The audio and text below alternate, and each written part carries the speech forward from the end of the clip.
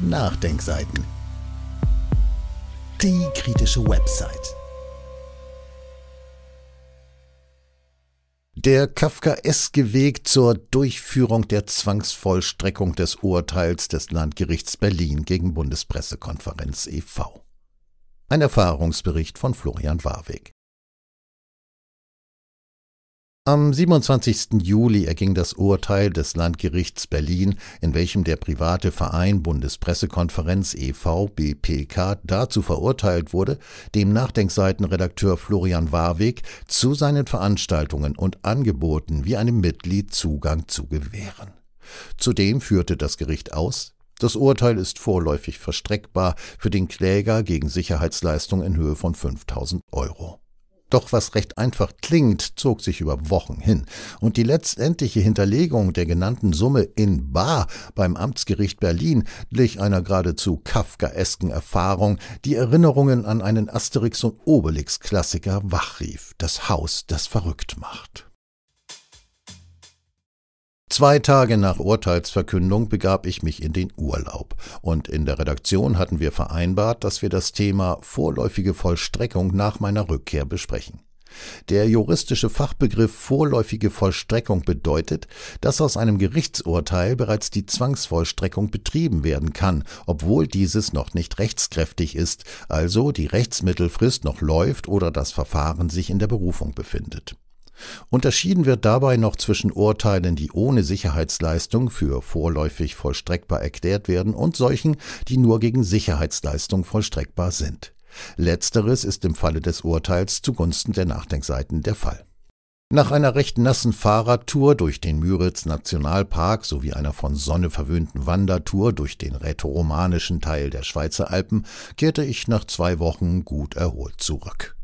Bei der Redaktionskonferenz am 14. August entschieden wir dann einstimmig, dass wir den Weg der vorläufigen Vollstreckung gehen werden, um zeitnah in der BPK präsent sein zu können. Für diese Vollstreckbarkeit kann man entweder eine Bankbürgschaft vorweisen oder aber bei einer sogenannten Hinterlegungsstelle vor Gericht die entsprechende Summe einzahlen. Unser Anwalt riet uns zur Bankbürgschaft, er meinte, das sei leichter umzusetzen. Also fragten wir zunächst bei der Hausbank der Nachdenkseiten an, die uns auch die Bürgschaft ausstellte, allerdings auf den Namen des Trägervereins. Dies akzeptierte jedoch die Gegenseite, also der Privatverein Bundespressekonferenz e.V., nicht. Sie verlangten, dass mein Name explizit in der Bürgschaft auftaucht. Schwierig, da ich nicht Kunde der Nachdenkseiten Hausbank bin. Angesichts der Verweigerungs- und Verzögerungstaktik der BPK blieb als einzige sichere und nicht anzweifelbare Option die Hinterlegung der 5000 Euro bei der Hinterlegungsstelle, angegliedert beim Amtsgericht in Berlin-Tiergarten, Kirchstraße 6. Ein Anruf bei besagter Stelle ergab, dass man die geforderte Summe von 5000 Euro ausschließlich in Bar bei der entsprechenden Gerichtszahlstelle einzahlen kann. Also erstmal Abhebelimit bei meiner Bank erhöhen lassen, was im konkreten Fall mit einer längeren Warteschleife beim Kundentelefon verbunden war und in der Umsetzung einen weiteren Tag dauerte. Dann war es soweit.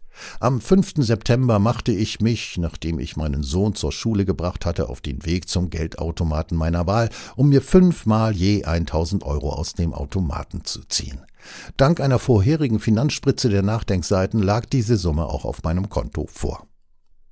Mit diesem mittlerweile vierstelligen Betrag in der Fahrradtasche verstaut, ging es dann weiter zum Amtsgericht Tiergarten. Der Sicherheitsbeamte am Eingang war zunächst ganz irritiert von meiner Frage nach dem Weg zur Hinterlegungsstelle, erklärte mir aber nach Durchsicht einer Liste Raum 1689, also erster Stock. Odyssee durchs Amtsgericht. Gesagt, getan wobei ich zunächst noch die Sicherheitskontrolle durchlaufen musste, und das gestaltete sich problematischer als gedacht, weil die verantwortlichen Beamten Sorge hatten, was ich mit den 15er Schraubenschlüsseln aus meinem Fahrradreparaturset und der erster FC Union Hartplastikflasche im Gericht so alles anstellen könnte.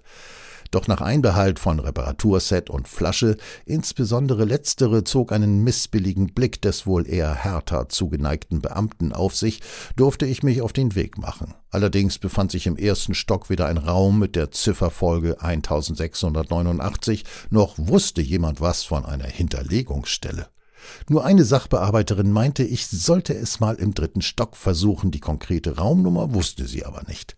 Doch auch in diesem Stockwerk wusste zunächst niemand, wo sich die Hinterlegungsstelle befinden könnte, bis bezeichnenderweise ein anwesender Haustechniker meinte, er hätte im sechsten Stock mal was von so einer Stelle gelesen. Im sechsten Stock brauchte ich aber auch drei Frageversuche, ehe ich dann tatsächlich die gut versteckte Hinterlegungsstelle fand. Nach kein Plan gab es eine nette Abteilungsleiterin von was auch immer, die anfänglich zwar meinte, dass sie nicht wüsste, wo sich diese Stelle befinden könnte, dann erhellte sich aber ihr Gesicht und sie meinte, Sehen Sie diese Tür links, da steht zwar Durchgang verboten drauf, aber da hält sich sowieso niemand dran. Also gehen Sie ruhig durch diese Tür und dann müsste die irgendwann kommen. Ich folgte der eigenwilligen Beschreibung und landete dann vor zwei Damen mit Kaffeetassen in der Hand, die sich zunächst nur ungern bei ihrem Plausch, es war ungefähr 8.35 Uhr, unterbrechen ließen. Diese gaben mir aber immerhin die erste richtig konkrete Antwort. Gehen Sie durch bis ganz zum Schluss, dann auf der linken Seite finden Sie die Hinterlegungsstelle. Und tatsächlich, nach meiner kleinen Odyssee durch die sechs Stockwerke des Amtsgerichts Tiergarten war ich am Ziel, so dachte ich zumindest. Die Mitarbeiterinnen, ausschließlich weibliches Personal der Hinterlegungsstelle, straften alle Klischees über die Berliner Bürokratie erstmal Lügen. Nett und zuvorkommend erklärten sie mir, was sie bräuchten, Kopie des Urteils, und dass ich mich kurz gedulden sollte, sie würden alles für mich vorbereiten. Keine fünf Minuten später hatte ich einen komplett ausgefüllten Antrag auf Hinterlegung in der Hand, und mir wurde noch ein schöner Tag gewünscht. Im Bewusstsein der 5000 Euro in Bar, die darauf warteten, aus ihrer unbequemen Lage in meiner Fahrradtasche befreit zu werden, fragte ich leicht irritiert nach, wo ich das Geld denn jetzt einzahlen sollte. Na, in der Gerichtszahlstelle, hieß es dann ganz selbstverständlich. Auf meine Frage, wo die denn sei, erntete ich einen überraschten Augenaufschlag und die Antwort, dass sich diese Stelle nicht im Amtsgericht, sondern im Landgericht Berlin in der Turmstraße 91 befand, einige Straßen weiter. Na, dann rücken Sie mal die 5000 Euro rüber, mit dieser Information ausgerüstet brachte ich erstmal Trinkflasche und Fahrradreparaturzeug zurück in meinen Besitz und machte mich dann auf den Weg zur Turmstraße 91. Dort angekommen ging diesmal alles ganz schnell. Beim Eingang wies man mir sofort den Weg zur Gerichtszentrale, Raum A 131, und weder Flasche noch Fahrradreparaturwerkzeug sorgten diesmal für Unruhe bei der Gepäckkontrolle. Und A 131 entpuppte sich tatsächlich als der richtige Raum. Ich legte den Antrag auf Hinterlegung vor und der diensthabende Beamte meinte mit einem breiten Grinsen auf den Lippen, na dann rücken Sie mal die 5000 Euro rüber. Ich tat wie geheißen und schaute noch einmal verwundert auf den recht kleinen Stapel. 5000 Euro in Bar hatte ich mir irgendwie imposanter vorgestellt. Aber 50 Scheine a 100 Euro sind dann doch nicht so voluminös. Die Zählmaschine hinter der Annahmeschalte brauchte auch nur wenige Sekunden zum Durchzählen. Kurz darauf summte der Drucker, man hörte das typische Stempelgeräusch und das Kratzen der unterschreibenden Kugelschreiber. Ein kurzes Nicken hinter der Glasscheibe und ich konnte meinen Hinterlegungsschein entgegennehmen und in voller Schönheit bewundern. Aus den geschilderten Erlebnissen ergeben sich einige Fragen. Welches Genie in der Berliner Verwaltung ist auf die Idee gekommen, dass man die Hinterlegungsstelle für Geldsummen dem Amtsgericht zuordnet, die Einzahlungsstelle für jene Hinterlegung aber wiederum dem Landgericht?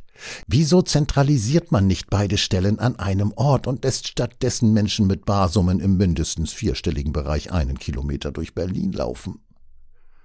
Des Weiteren wäre es interessant zu erfahren, aus welchen Gründen man in der Gerichtszahlstelle in Berlin, wohlgemerkt, wir sprechen hier von Beträgen ab 5000 Euro aufwärts, ausschließlich in Bar hinterlegen einzahlen kann. Auch gedenkt der Tatsache, dass das Geldwäschegesetz bei Bareinzahlung auf das eigene Konto ab einem Betrag von 10.000 Euro eine Nachweispflicht vorsieht. Abschließende Bemerkung. Vor dem Hintergrund der Hinterlegung der 5000 Euro zur vorläufigen Vollstreckung gemäß dem Urteilsspruch sollte bis zum nächsten Urteil in der zweiten Instanz des Berliner Kammergerichts meine Teilnahme an den Regierungspressekonferenzen der BPK rechtlich eigentlich nichts mehr im Wege stehen. Angesichts des bisherigen Verhaltens der BPK ist aber nicht auszuschließen, dass der BPK-Vorstand selbst jetzt noch versuchen wird, meine Teilnahme zu verhindern oder zumindest zu verzögern. Wir werden unsere Leser auf jeden Fall auf dem Laufenden halten. Dieses Audio konnte nur entstehen, weil zahlreiche Leser und Leserinnen die Nachdenkseiten fördern und durch Spenden unterstützen. Wenn Sie auch etwas tun wollen, klicken Sie einfach den entsprechenden Button auf unserer Website an. Übrigens, Sie können uns auch bei iTunes, SoundCloud und YouTube hören und wenn Sie mögen, gerne unseren Kanal abonnieren und eine positive Bewertung für uns abgeben. Wir freuen uns über Ihre Unterstützung und die Weiterverbreitung unserer Inhalte.